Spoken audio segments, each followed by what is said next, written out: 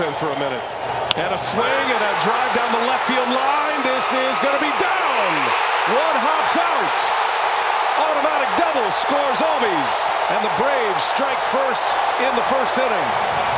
Well, because he was able to lay off the 2-2 pitch that you talked about, Ronnie, he gets one more on the plate.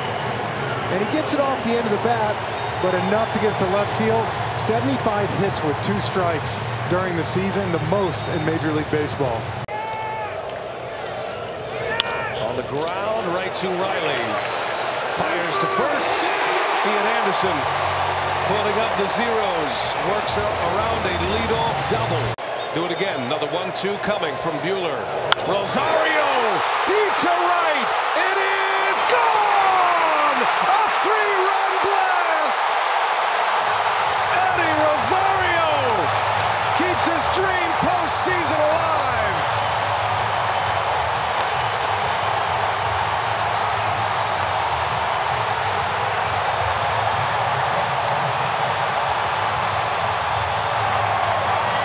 Numbers across the board, amazing for Treinen. He's herded 30 runners this year. Only four have scored. Here's a one-two. And a cold strike three. 99 mile an hour fastball. Treinen gets out of it. The Brave strand, the bases loaded. That could be big. We'll see where this one goes. Treinen comes on in the sixth. And down field line, that is a fair ball. Coming in to score is Taylor. Bellinger will stop at third. A two-strike double for A.J. Pollock.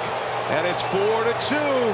And the Dodgers have two in scoring position with nobody out in the seventh. Here's a one-two. And a swing and a miss. That was a big strikeout for Matzek. One and two. Strike three. Matzek burns off the edge. Here's an 0-2. Man, oh man, that was some serious pitching by Tyler Matzek. And Soler muscles one into left field. He's thinking two, and he's on his way. And the throw to second, a belly flop. He's safe. Pitch on the way. There's a shot to Dansby. He slides to it. He's got it. Throws over. There is a new champion of the National League, and it is the Atlanta Braves.